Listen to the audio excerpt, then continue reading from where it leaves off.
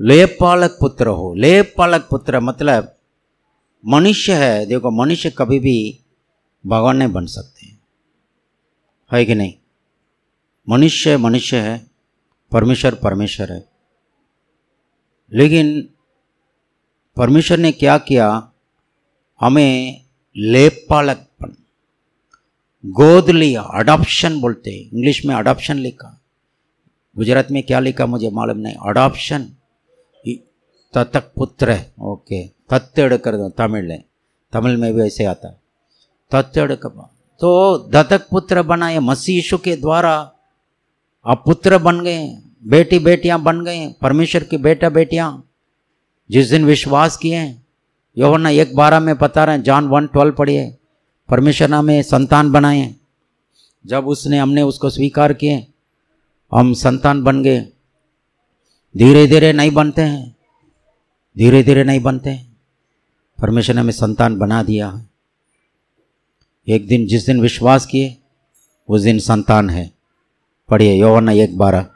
परंतु जितनों ने उसे ग्रहण किया हम्म, उसने उन्हें परमेश्वर की संतान होने का अधिकार दिया। अधिकार दिया हम्म, अर्थात उन्हें जो उसके नाम पर विश्वास रखते हैं। रखते हैं। देखो नाम पर विश्वास किया संतान होने का अधिकार है। अधिकार। अधिकार होते अभी हमारा मेरे बच्चे लोग है ना और मेरी। वो लोगों का अधिकार है। पापा का नाम वो लोग पीछे यूज़ कर सकते हैं ना थॉमस, मेरी थॉमस डाल सकते हैं। कि नहीं? पिता का हक है, उन लोग वारिस है। पिता का जितने भी जायदाद बोलते हैं प्रॉपर्टीज़ वो भी हाथ में, बात में आता है। सब उनका है। तो संतान बनने से मिरास है। वारिस है और परमेश्वर ने हमें अपने परिवार में गोद लिया।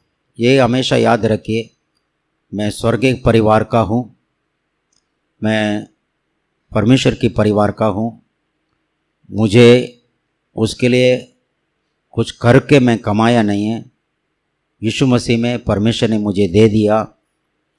सेंध मेंद सेंध मेंद मतलब फ्री उसने मुफ़्त में मुझे दिया है, मुझे संतान बनाया बेटा बेटी बनाया तो उद्धार किया।